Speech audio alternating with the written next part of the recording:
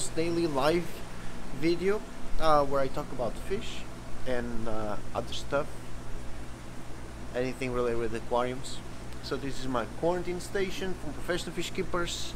Uh, today I'll be talking about a really cool angel that you don't see very often. It's called the gold tail angel or um, uh, Pomacanthus chrysurus or just chrysurus angel.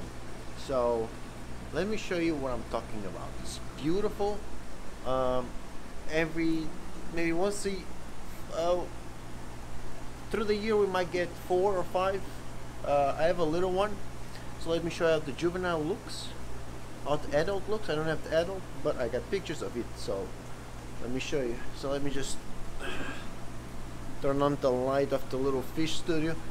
One of these days I might do a video how, on how I take pictures to the fish and this little uh, fish studio uh, it's uh, it helps. So let me flip the camera.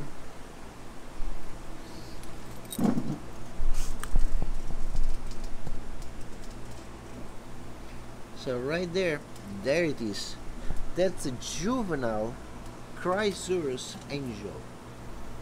A close up it's not very happy but it is what it is it will just take a couple minutes and I'll put him back on his tank well actually I'm going to put him at the big coral one of the big coral tanks so I can see exactly what he eats and how reef safe he is and how not reef safe he is because there's not a lot of information out there at all because this fish is not so common. So this uh, where can we find them what its origins are from Southeast Africa, usually Kenya, Gulf of Oman, Madagascar, all the way east, northeast of Australia.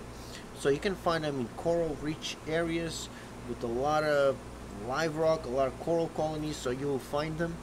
And uh, they grow about 10 inches. This little one, you can have them in a small tank, about 100 gallons, but once they get about to about 10 inches, 200 300 the bigger the better so they are semi aggressive um, but not as aggressive as a queen angel or Cortez angel. So those two queens and Cortez end them together at the very last. At the less aggressive angels first and then the more aggressive ones towards the end and this one will kind of be towards the end. Uh, reef safe with caution. They will definitely go after uh, sessile invertebrates like feathered dusters and other worms like that, coco worms, clams, tridacnid clams, yes, they will nip at the mantle. Usually you can keep them with SPS and it will be fine. Uh, these blue stripes that you see on him, they will keep them until they are adult. So that's pretty cool. A lot of people look at that when they get the juveniles. So they will keep it. Let me show you. so that's the adult you see the stripes that's a, a smaller uh, a little bit different. So there's small variations depending on where they're collected. And this is a hybrid. This is very rare. So this is a hybrid between the chrysurus and the maculosus. And I'll show you how a maculosus angel looks like. Uh, there's no sexual dimorphism or differences in colors between the males and the females. Uh, usually if you want to sex them in aquaculture, you got to put a little tube in a cloaca, suck, and you might find sperms or eggs, and then you know if it's a male or a female. Uh, usually, these are kind of expensive. So a small one like this one goes around 200, and the large one, a show one, will go for uh, a thousand dollars or so. So it's a, it's a collector's uh, fish. So let me catch them and I'm going to put them in this little cubicle and I'll show you how a Maculosus looks like. And I'll give you also an update on Asfur Angel that I have on the coral tank uh, and we go from there. And I will show you which coral tank he's going in. So let me put him back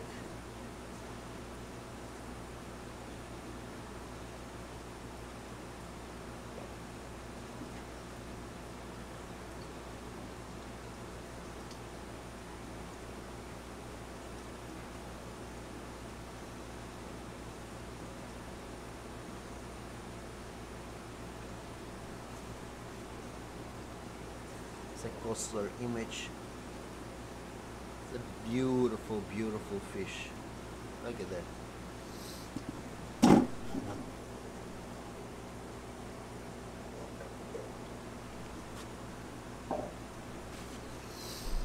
So he's back at his little cubicle and it's pretty much done. I'm pretty much done with the quarantine on him and he will be going into a big show tank and then I'll catch him from there. So those ones, actually I got two maculosus. Tiny one, juvenile, very small, and then a juvenile, that's a juvenile also that is converting into the adult coloration. So they, those are angels that also get pretty big.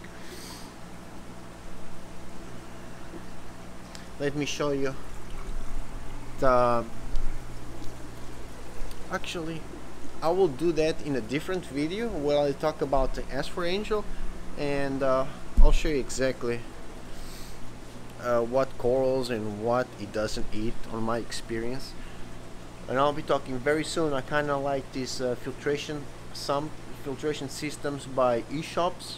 So I'll be talking about these sumps soon and I'll be doing a review on this S120 protein skimmer. So I'll be setting up a smaller tank and we'll follow the evolution of that tank with this uh, S120 this will be a big seahorse tank will be uh, ready soon.